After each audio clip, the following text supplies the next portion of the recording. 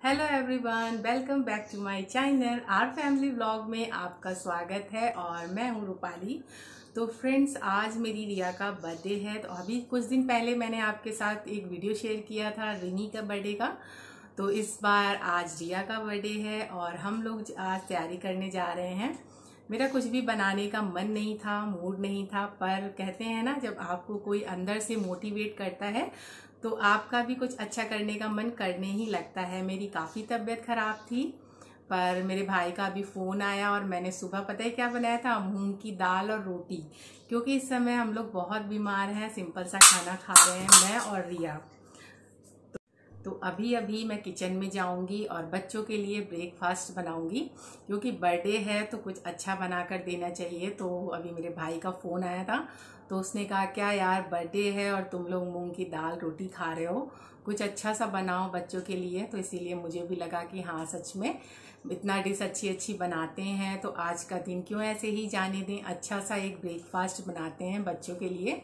और उसकी रेसिपी मैं आप सबके साथ शेयर करूँगी। गर्मी बहुत ज़्यादा है तो मैं फालूदा कुल्फ़ी बनाऊँगी। फालूदा शेक आप उसे बोल लीजिए या कुल्फ़ी बोल लीजिए। और साथ में बनाऊँगी सैंडविच बहुत सिंपल से सैंडविच बनाऊँगी। शाम को हम लोग केक कट करेंगे और उसके बाद रात का डिनर बनाऊँगी, वो भी आपके साथ शेयर करूँगी अगर हो सका तो। तो चलिए फटाफट किचन में चलते हैं और एक अच्छा सा ब्रेकफास्ट बनाते हैं। यहाँ पे मैं किचन में आ चुकी हूँ और ये देखिए, ये मैंने लिया है मिल्क केक लिया है मतलब दूध वाली बर्फ़ी लिया है। सॉरी फ्रेंड्स मिल्क केक थोड़ा अलग होता है। ये दूध वाली बर्फ़ी ली है, मेरे पास रखी हुई थी। तो और यहाँ पर मैंने एक बड़ा कप मतलब बड़े वाले जो कप होते हैं ना, एक ग्लास दूध आप समझ लीजिए।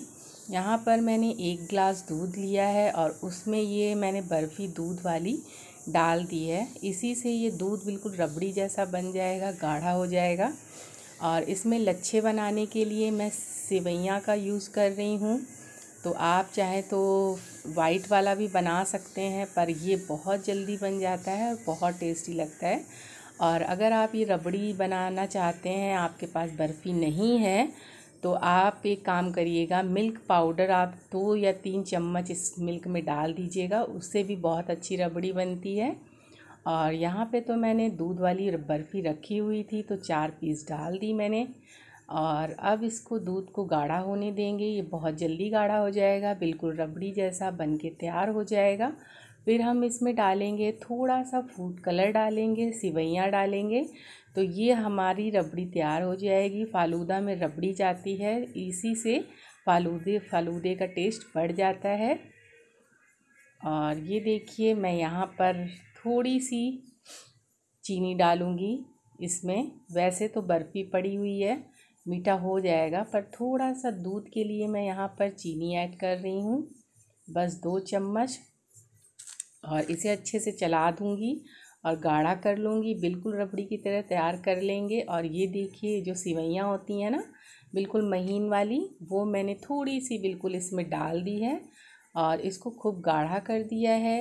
ये बहुत टेस्टी फालूदा बनता है। मैं अभी आपको दिखाऊँगी इसे कैसे बनाते हैं। और आप भी बनाती होंगी काफ़ी लेडीज़ें अच्छे अच्छे फालूदे।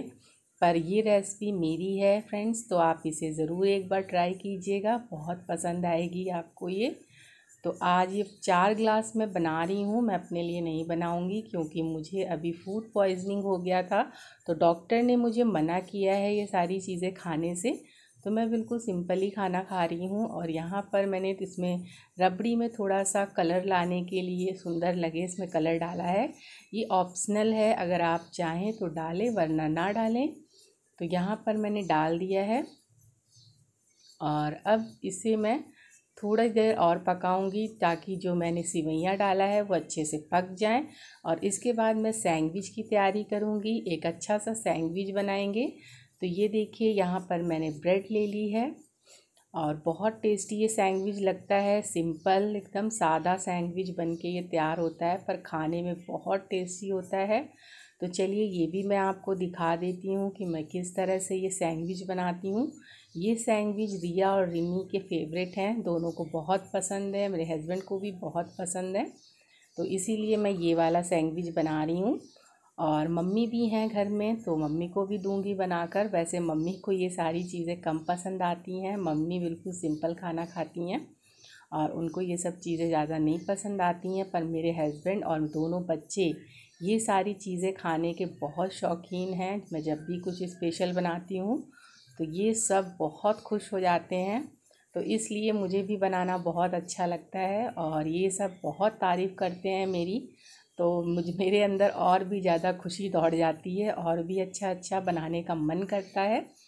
तो आज मैं इन लोग के लिए सैंडविच बना रही हूँ और शाम को रिया के बर्थडे का केक कटेगा तो अभी मैं अपने हस्बैंड के साथ मार्केट जाऊँगी, केक लेकर आऊँगी और थोड़ा बहुत बर्थडे का सामान भी लाऊँगी क्योंकि मार्केट बिल्कुल खुल नहीं रही है। पर बेकरी और जो वाली शॉप होती है, ग्रॉसरी वाली, वो खुल रही है खाली। और तो मैं लेकर आऊँगी केक केक जो मिलेगा, देखेंगे क्या मिलता है, क्या नहीं मिलता है, क्योंकि लॉकडाउन में हर चीज़ बंद है।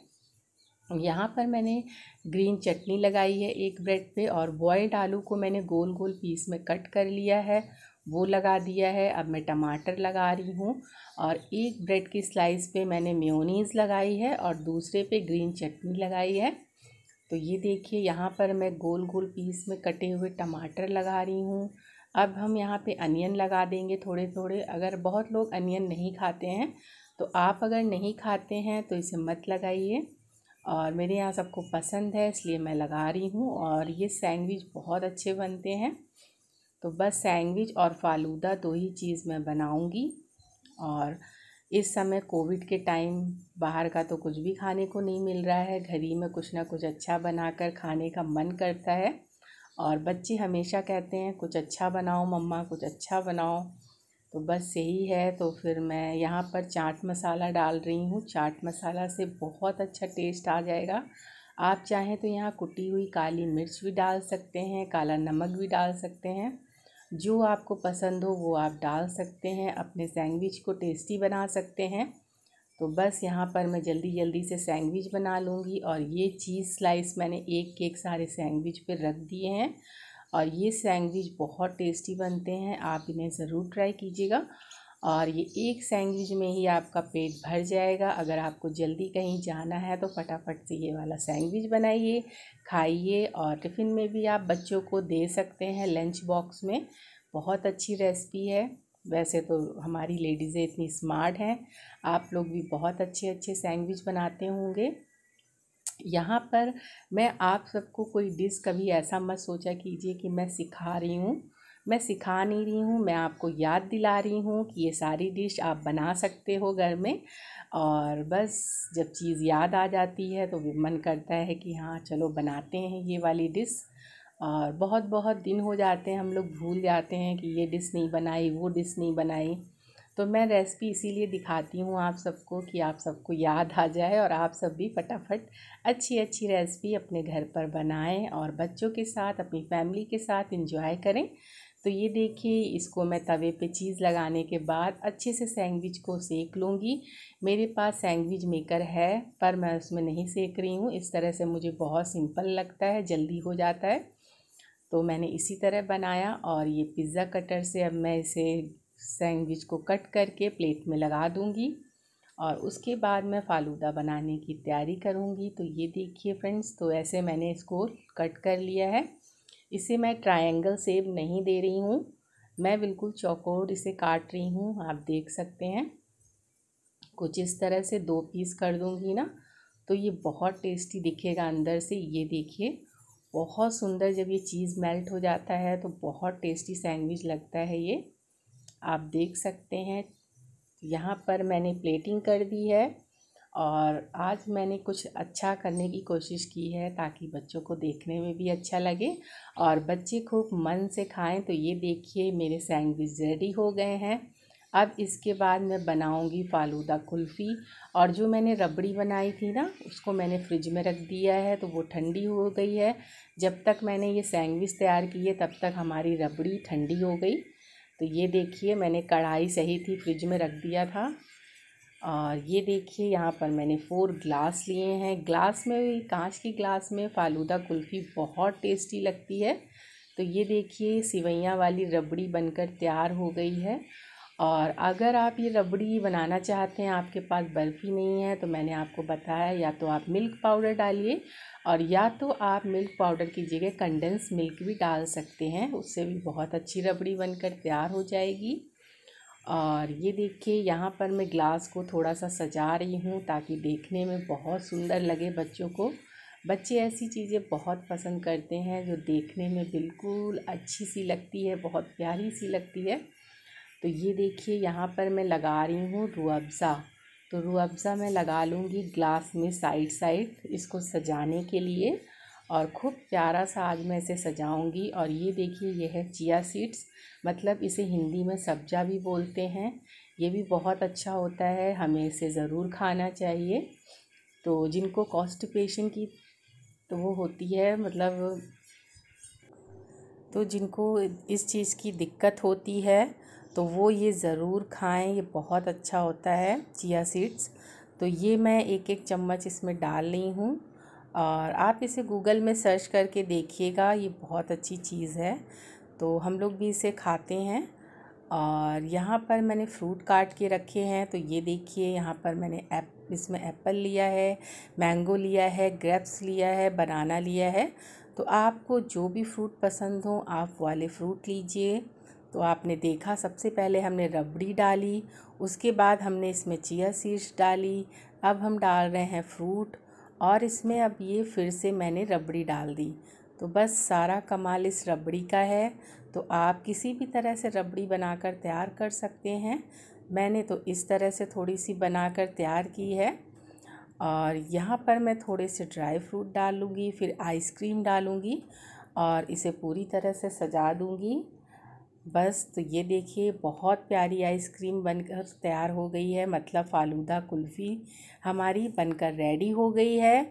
तो आप इसे ज़रूर ट्राई कीजिए फ्रेंड्स। अगर मेरी रेसिपी अच्छी लगे तो लाइक कीजिए, अपने फ्रेंड और फैमिली ग्रुप में भी मेरी रेसिपी को शेयर कीजिए ताकि वो भी ये अच्छी अच्छी रेसिपी बनाकर खा पाएँ।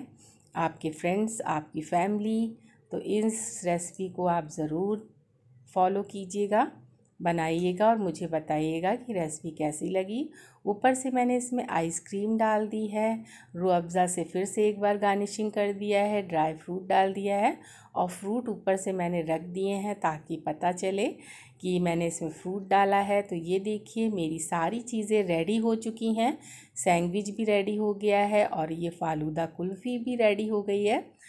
तो अगर ये वीडियो अच्छा लगे तो लाइक ज़रूर कीजिएगा और अब मैं शाम जाऊँगी मार्केट शाम की तैयारी के लिए और एक मैं अपना फ़ोटो शूट करवाऊँगी, ये ग्लास लेके। तो ये देखिए, मैंने यहाँ पर अपना फ़ोटो सेक्शन कराया है और ये रिया कर रही है और शाम हो गई है और अब हम सब रिया के बर्थडे का केक काटने जा रहे हैं। तो यहाँ पर केक लगा हुआ है और रिनी बहुत शैतानी कर रही है। रिनी को बहुत खुशी होती है जब घर में मैं कोई सेलिब्रेशन होता है हमारे तो सबसे ज़्यादा रिनी को खुशी होती है। और रिनी ज़बरदस्ती बोल रही थी कि आप, दीदी के बर्थडे में बैलून लगाओ, ये लगाओ, वो लगाओ। पर हम लोग मना कर रहे थे और रिया को भी बिल्कुल पसंद नहीं है ये सारी चीज़ें। पर हमें रिनी की वजह से ये सारी चीज़ें लगानी पड़ती है। पर अच्छा है अगर घर में ऐसे बच्चे हों और ये मेरे हस्बैंड आपको हेलो बोल रहे हैं। यहाँ पे चल रहा है टीवी तो इसलिए मैंने इसकी आवाज़ बंद कर दी है। मैं वॉइस ओवर करके बता रही हूँ आप सबको। और अब हम काटेंगे केक। और चलिए फिर इसके बाद मैं लंच बनाऊँगी। और आज मैं लंच में बना रही हूँ सॉरी फ्रेंड्स डिनर में। तो मैं डिनर में बना रही हूँ। कढ़ाई पनीर बनाई है मैंने फ्रूट कस्टर्ड बनाया है। और जो मैंने फ़ालूदा बनाया था ना तो फ्रूट बच गए थे। उसी फ्रूट से मैंने फ्रूट कस्टर्ड बना दिया। और साथ में बनाया है कढ़ाई पनीर और नान। तो बस केक कट चुका है, अब मैं सीधे किचन में जाऊँगी, वहाँ पर मैं अपनी सारी डिश तैयार करूँगी शाम के डिनर के लिए। और यहाँ पर रिनी कर रही है अपनी दीदी के बर्थडे पे डांस। और रिनी का डांस ना हो, ऐसा तो हो ही नहीं सकता। कोई भी छोटा मोटा ओकेज़न होता है तो रिनी का डांस तो सबसे पहले। और रिया ने भी थोड़ा सा डांस किया। यहाँ पर मैं रिया की फ़ोटो शूट कर रही हूँ, रिया की फ़ोटो खिंचवा रही है। और बस अब जल्दी से जाऊँगी किचन में। तो ये देखिए, यहाँ पर मैंने नान बनाना स्टार्ट कर दिया है। मैं घर पर ही नान बना लेती हूँ, बहुत टेस्टी नान बनती है और इसकी रेसिपी भी मैंने अपने चैनल पर दे रखी है, उसका लिंक मैं दे दूँगी। तो आप सब नान ज़रूर बनाइए घर में और बहुत से लोग तो बना भी लेते होंगे। इसी के साथ मैं वीडियो को एंड करती हूँ। Okay friends, bye, take care.